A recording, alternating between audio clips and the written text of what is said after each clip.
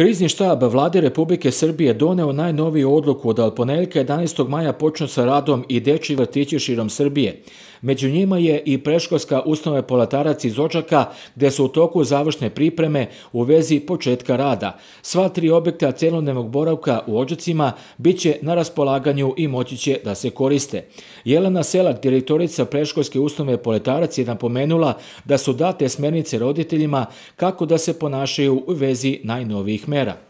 Prečkolska ustanova Poletarac od ponedeljka 11. maja počinje sa svojim neposredno vaspitno-obrazovnim radom.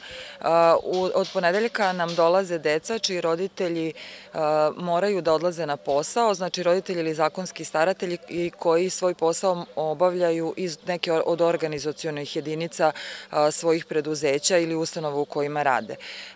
Mi smo u skladu sa preporukama Ministarstva prosvete, nauke i tehnološkog razvoja kao i u skladu sa preporukama Ministarstva zdravlja pripremili tri objekta za prijem i prihvat dece i njihovo zbrinjavanje u toku još uvek ove situacije kada je potrebno kada je potrebna preventiva i zaštita kako dece tako i zaposlenih od koronavirusa. U Očacima će raditi objekti centralni poletarac, bajka i park i bit će prijem dece celodnevnog boravka, znači uzrasta od godinu do polaska u školu. Takođe, pripremili smo i uputstva za roditelje.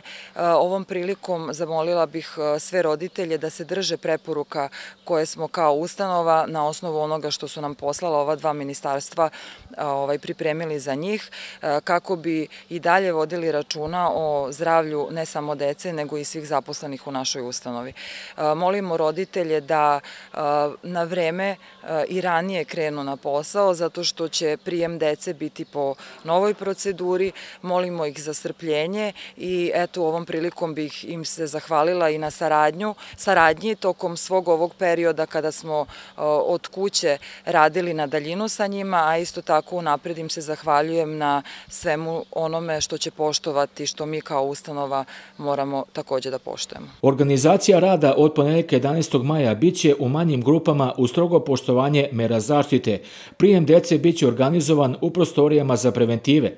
Kako je navela Jelena Selak, u opticaju je oko stotinak dece koji će imati celodnevni boravak u centralnom objektu i objektima Park i Bajka ponedeljka očekujemo 96 dece koje su raspoređena u, ova tri objekta koje sam navela u Ođecima. Ono što se razlikuje sada od našeg ustaljenog vaspitno-obrazovnog rada jeste pre svega prijem dece. Prijem dece će se raditi, odnosno realizovati u sobama, odnosno prostorijama za preventivu u kojima će biti medicinske sestre, vaspitači i po prijemu roditelji dete će naravno dezinfikovati prvo svoju obuću, zatim ruke i bit će merena temperatura kako detetu, tako i roditeljima. Roditelj će trebati da odvede svoje dete do radne sobe i bez preteranog zadržavanja u objektu napusti objekat kako bi druga tura roditelja mogla da uđe sa svojom decom. Znači, zbog toga molimo za srpljenje i za to da ranije krenu na svoj posao kako bi jel te, stigli na vreme da ga obavljaju. Grupe se neće mešati u toku dana, znači u toku dana će svaka vaspitna grupa biti u svojoj radnoj sobi. Takođe smo promenili i ritam življenja u smislu obroka.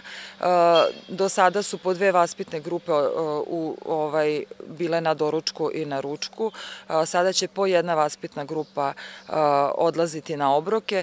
Takođe, neće biti mešanja vaspitnih grupa u toku dana niti po hodnicima, niti u dvorištu, niti u trpezari, niti u bilo kom drugom prostoru u okviru objekta. Preškolska ustanova poletara će svoj rad organizovati u skladu sa smernicama i preporukama Ministarstva prosvete i Ministarstva zdravlja i izvršiti sve potrebne pripreme kako bi se obezbedio zdrav i bezbedan boravak dece i zaposlenih.